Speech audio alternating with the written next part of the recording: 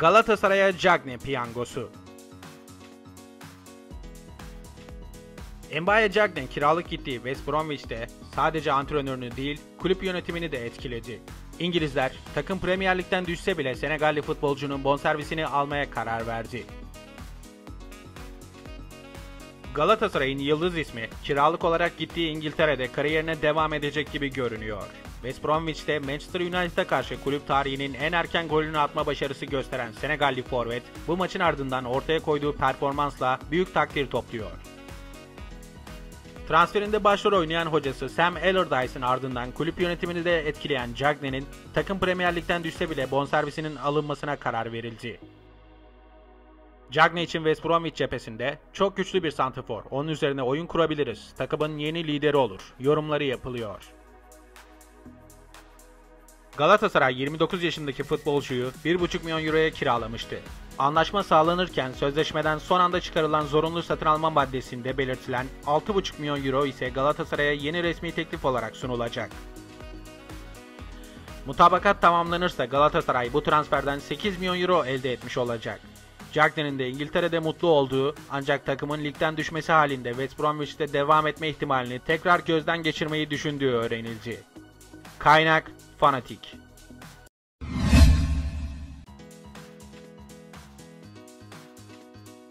Galatasaray'dan son dakika transfer hamlesi.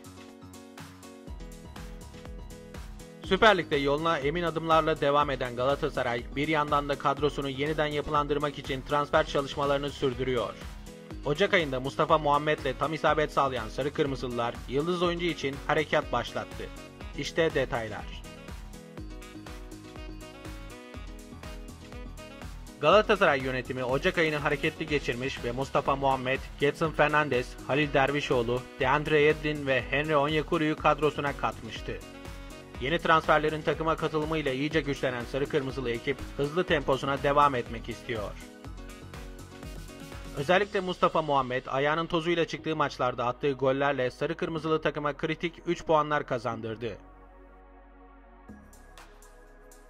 Mustafa ile nokta atışı yapan Galatasaray yönetimi yine Mısır Ligi'nden başka bir yıldız oyuncuyu kadrosuna katmak için düğmeye bastı. Sarı Kırmızıların listesine giren son ismin Aliou Dieng olduğu ortaya çıktı. Scout ekibinin Muhammed'i izlediği sırada dikkatini çeken Malili ön libero El Ahli forması giyiyor. Scout biriminin 23 yaşındaki oyuncuyla ilgili teknik heyete çok olumlu bir rapor sunduğu öğrenildi. 12 kez Mali milli takımının formasını giyen genç yıldız konusunda teknik direktör Fatih Terim'in kararı bekleniyor. Tecrübeli hocanın da onay vermesi halinde resmi girişimler başlayacak. El Ahli 2019 yılında Dieng'i transfer ederken Cezayir kulübü Mek Alger'e 1.1 milyon euro ödemiş, bu transfer ülkede büyük ses getirmişti. Kaynak Fanatik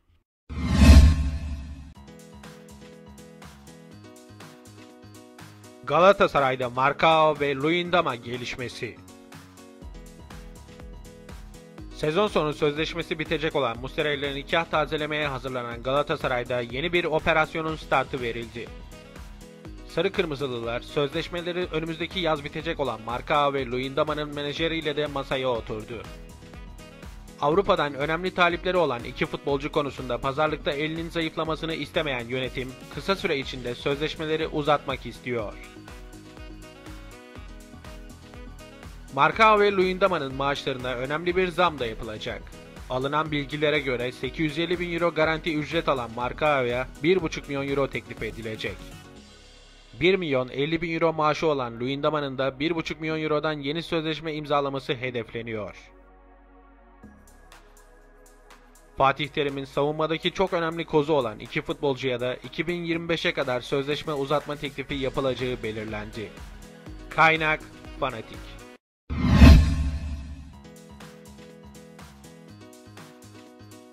Transferde mutlu son.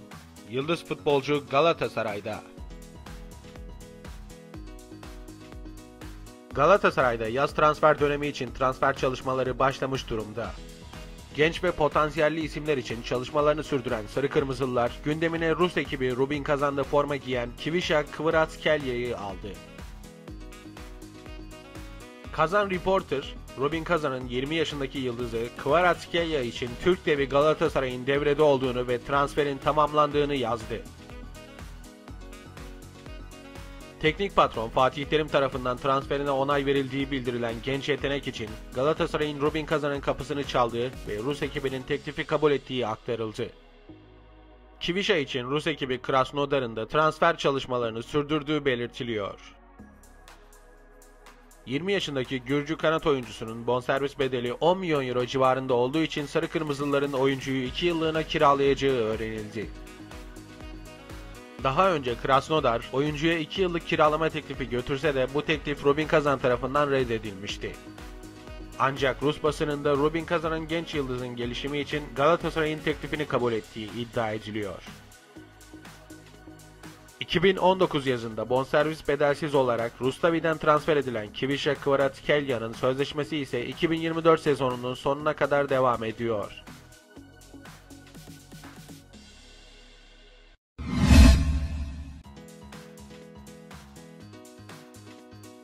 Dünya starı Galatasaray'a transferini resmen açıkladı. Christian Luyendama'dan istediği verimi alamayan ve yerine ses getirecek bir transfer yapmak isteyen Galatasaray bir stoper takviyesi yapmayı kafasına koydu.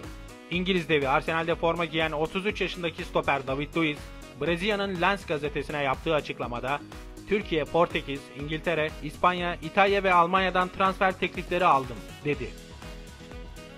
David Luiz'in sözlerinin ardından teklif aldığı Türk takımının Galatasaray olduğu iddia edildi.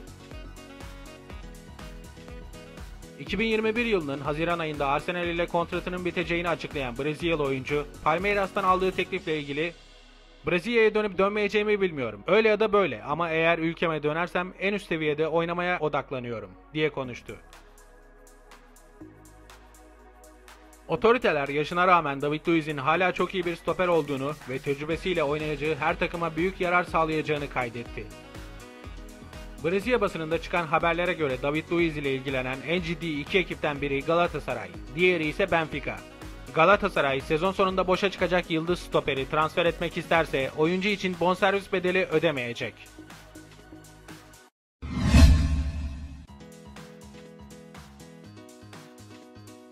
Dünyaca ünlü kulüp Taylan Antalyalı'nın peşinde. İtalya Serie A'da şampiyonluk yarışı veren Milan, Taylan Antalyalı'yı gündemine aldı. Ayrıca Atalanta'da 26 yaşındaki futbolcuyu takip ediyor. Galatasaray orta sahasının önemli isimlerinden olan Taylan Antalyalı'ya İtalya'dan ciddi talipler var. İtalyan gazeteci Gianluca Di Marzio'nun internet sitesinde yer alan habere göre Serie A'da şampiyonluk yarışı veren Milan, Taylan Antalyalı'yı kadrosuna katmayı çok istiyor. İtalyan devi sezon sonunu beklerken Atalanta'da oyuncu ile ilgileniyor. Öte yandan Serie B'de mücadele eden Silvio Berlusconi'nin takımı Monza'da Serie A'ya yükselme hesapları yaparken Taylan Antalyalı'yı gündeminde tutuyor. 2019 yazında bedelsiz olarak Büyükşehir Belediyesi Erzurumspor'dan Galatasaray'a katılan Taylan Antalyalı'nın sarı kırmızılı kulüple 2023 yazına kadar kontratı bulunuyor. Bu sezon Galatasaray formasını 28 resmi maçta giyen Taylan Antalyalı bir gol atıp 2 de asist yaptı. Kaynak Fanatik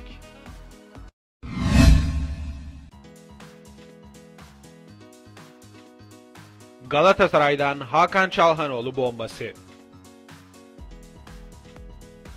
Spor Toto Süper Lig'de Şampiyonluk Kupası'nı sezon sonunda kaldırmak isteyen Galatasaray'da flash transfer gelişmeleri yaşanıyor. Ara transfer döneminde kadrosunu Onyekuru, Getson, Halil, Yeddin ve Mustafa ile güçlendiren Sarı Kırmızılar transfer çalışmalarına şimdiden başladı. Büyük bir çalışma içerisine giren Aslan, sezon sonunda yılın transfer bombasını patlatmaya hazırlanıyor. İşte tüm detaylar ve gelişmeler. Fotomaç gazetesi genel yayın yönetmeni ve A-Spor yorumcusu Zeki Uzundurukan, Galatasaray'ın transfer gündemine dair flash açıklamalarda bulundu. Galatasaray'ın uzun süredir gündeminde olan milli yıldız Hakan Çalhanoğlu'nun transferiyle ilgili konuşan Uzundurukan bombayı da patlattı. İşte o açıklamalar. Asıl bombayı şöyle patlatayım. Galatasaray'da ciddi anlamda Hakan Çalhanoğlu sesleri yükselmeye başladı. Hakan Çalhanoğlu sık sık Fatih Terim'le görüşüyor ve ciddi anlamda Galatasaray'a gelmek istiyor. Nasıl Mesut Özil Fenerbahçe sevdalısıysa Hakan Çalhanoğlu da Galatasaray sevdalısı. Fatih Terim'le yaptığı görüşmelerde ben futbol yaşantımda top seviyeye Galatasaray formasıyla ulaşacağım demiş. Fatih Terim de kendisini davet etmiş. Hakan Çalhanoğlu'nun bonservisi çok yüksek. Tapusunu almak çok zor. Ama sezon sonunda kiralık olarak Galatasaray'a geleceğini söyleyebilir.